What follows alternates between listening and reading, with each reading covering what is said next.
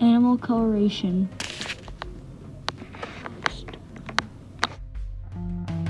Camouflage.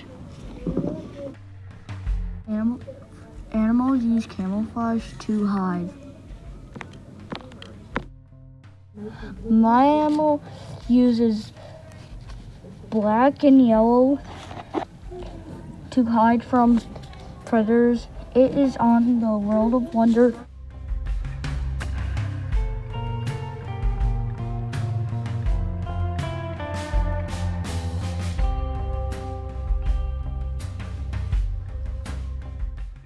Mimicry. Animals use mimicry to look like something else.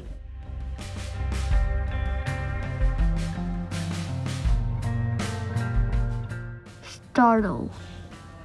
Some animals that appetite to camouflage when their warning colors close can open colors and well, scare predators that may startle. My moth is using startle by blending into the habitat. The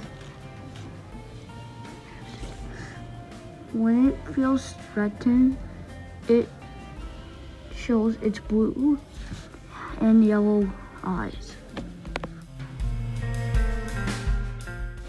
Warning.